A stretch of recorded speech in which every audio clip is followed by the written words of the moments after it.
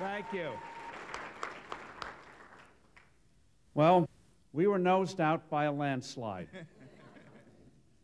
but I have no regrets, and you shouldn't either.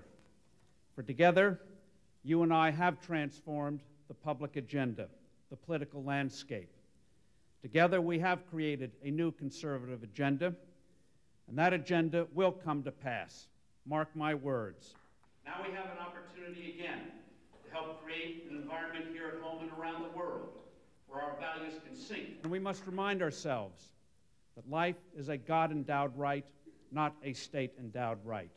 That when the least of us are vulnerable, ultimately all of us are vulnerable. And that is why we must engage in a national dialogue with those who don't yet agree with our goal and try to persuade them each step of the way that life indeed does begin at conception and should end only at natural death.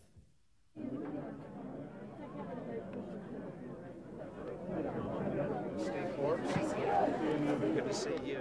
Thank you.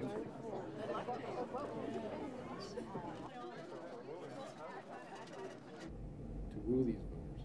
Well, I think as